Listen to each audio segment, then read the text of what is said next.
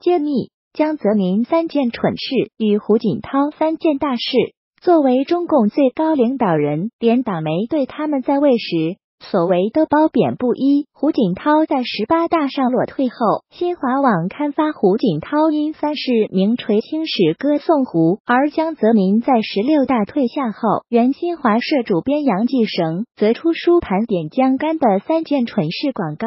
一九九二年召开的中共十四大上，胡锦涛当选为中央政治局常委，被邓小平隔代指定为江泽民的接班人。二零零二年，胡锦涛在十六大上接替江泽民出任中共总书记。二零零四年接任中央军委主席。二零一二年在十八大上裸退，同时卸任中共总书记。中央军委主席职务，胡锦涛落退后，新华网发表胡锦涛因三世名垂青史一文，歌颂胡。第一件事是黄岩岛纳入实际管辖，第二件事是二零零六年一月一日起，中国全面取消农业税。尽管当时有人认为取消农业税有很大的象征性意义。但给农民的好处并不大，总共才免掉农民的三百亿，那么多农民分的话，几乎等于没免，并不能使中国的农民在今后的几十年当中能够迅速的跟东南沿海的城市居民的收入差距有明显的缩小。因此，高层需要做的事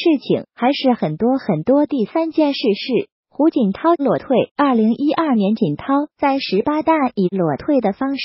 将权力全部移交习近平，迫使江泽民无法继续干政。胡锦涛也因此与其结成联盟，共同对付江派政治对手。胡锦涛在关键时刻的裸退广受好评，不少舆论将此举比喻为与一直想置他于死地的江泽民同归于尽，同时也给习近平全面接管权力开路。习近平主政后，曾多次公开赞誉胡锦涛这一决定是高瞻远瞩。高风亮节，江泽民干的大蠢事。胡锦涛的前任江泽民于一九八九年踏着六四学生的鲜血，从上海市委书记一跃登上了中共权力的最高峰。后，二零零二年中共十六大上卸任总书记职务，留任军委主席。二零零四年辞职。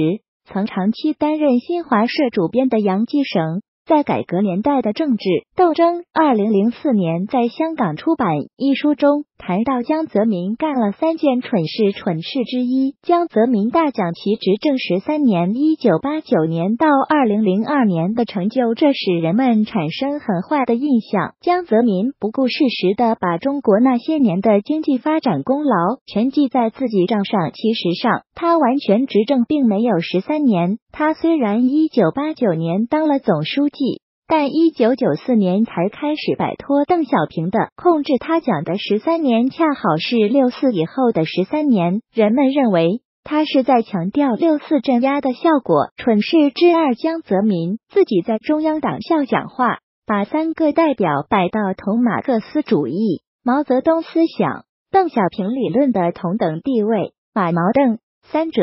是后人或别人摆上中共政治的神龛，而江泽民却自己爬上了中共神龛。蠢事之三，江泽民十六大退而不休，还保留中央军委主席的职务，各界痛批其练权。干政江保留中央军委主席职务以后，还经常对胡锦涛指指点点，群众也很反感。以上只是杨继绳所盘点的江泽民所干的蠢事。事实上，江泽民所干的蠢事何止三件，三千件都不止。而江泽民所干的最大一件蠢事，舆论公认是将迫害修炼真善忍的法轮功群体。从一九九九年七月二十日，江泽民与中共相互。勾结迫害修炼真善忍信仰的法轮功群体，那一刻起，中国就失去了道德底线。放眼当今中国社会乱象，从生环境污染、水源污染、毒奶粉、毒疫苗、毒食品遍地，假货、假话泛滥成性，尽是雾霾阴暗沉重笼罩大地。网际网络的防火墙阻隔了真实的资讯，说真话违法，讲真相犯法。于是见风使舵，投机取巧。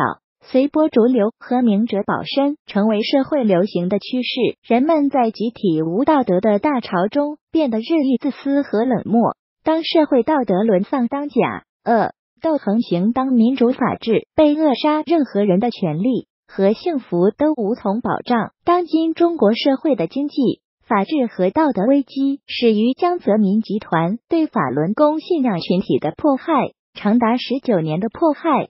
直接波及法轮功学员及他们的亲属达数亿人，导致中国财政空虚、法律系统和道德全面崩溃，国家和民族被拖入深渊。前中共总书记赵紫阳的秘书鲍同表示，江泽民对法轮功的迫害受害者不仅仅是法轮功，实际上是全体中国人。中国著名维权律师高志成于二零零四。二零零五年三次公开上书，胡温政权以颤抖的心、颤抖的笔呼吁立即停止对法轮功学员的迫害。高志成写道：“这是在持续的与全体中国人民、与人性文明及整个社会的道德基础为敌啊！我们的国家，我们的人民。”我们的民族的久远价值，以及全世界在这场浩劫面前保持了不光彩的沉默者的各国政府的道德形象，都已现实的成了这场浩劫的受害者。